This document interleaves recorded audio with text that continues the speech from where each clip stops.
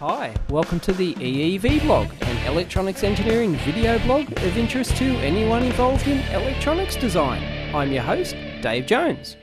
Hi, no, I'm not in the lab today, I'm in the lounge room. Why? Because I've got my old uh, analog, Hameg analog oscilloscope hooked up to my desktop computer. As you can see, there's the probes up there. They're connected to the uh, sound card output uh, signal from the desktop which is um, which is actually my media center. It sits in the cabinet behind there, and I'm running the famous YouScope demo, which gets some pretty funky displays on here. As you can see, it's got scrolling text and really uh, funky images. Check this out. There it goes.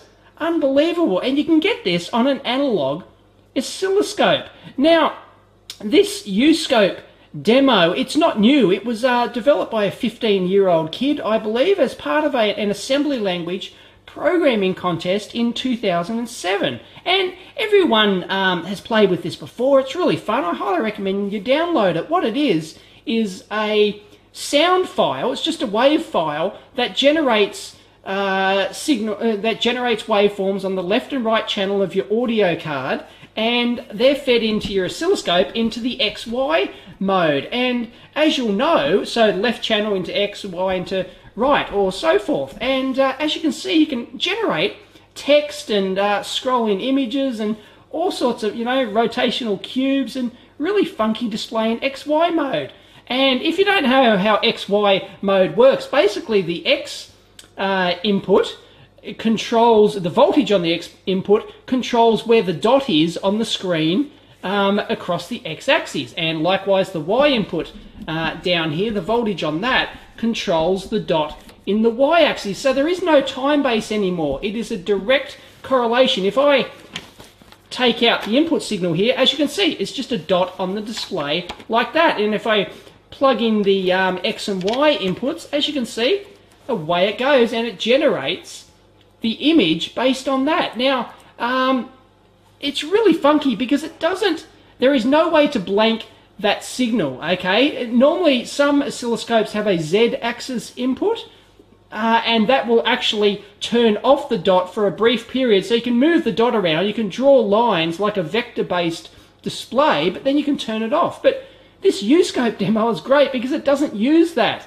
Um, so hence, if I turn up the brightness here, you can see the lines that are used to actually draw it. So you've really got to get your, your intensity just right so that you don't see those flyback lines. All you see is the actual animation.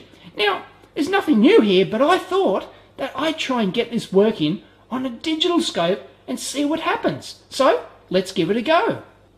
And the reason I'm using my desktop computer here is that uh, you really need a good quality sound card with a line out. It I found it doesn't really work on the headphone uh, outputs, which is all my notebook computer's got. So, and here you go. As you can see, it works, which is, isn't really surprising given that uh, this is 50,000 waveform updates per second on this Agilent scope. You can actually quite clearly see it, but it actually works too good because you can see all the flyback lines. Now, if I vary the intensity, if I drop it down, you can still see the flyback lines on there, which is quite annoying. I can turn it all the way up, of course, and get maximum intensity, and uh, but you can still see those flyback lines, and it, you know, it, it really is a little bit, uh, really is a little bit annoying. So you can't really get rid of that. It's too good. You can't sort of drop the intensity right down and